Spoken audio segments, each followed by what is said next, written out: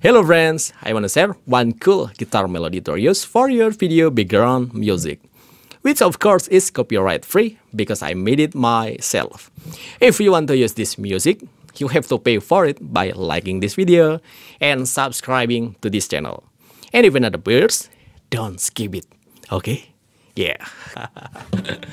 okay, check this out.